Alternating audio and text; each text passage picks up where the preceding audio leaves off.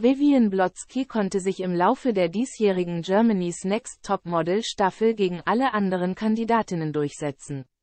Die Chefjurorin Heidi Klum, 50, kürte die Azubine aus Koblenz im großen Live-Finale am 15. Juni zur Siegerin. Aber wie viel Erfolg hat Vivian nach ihrem Castingshow-Triumph eigentlich in den sozialen Medien?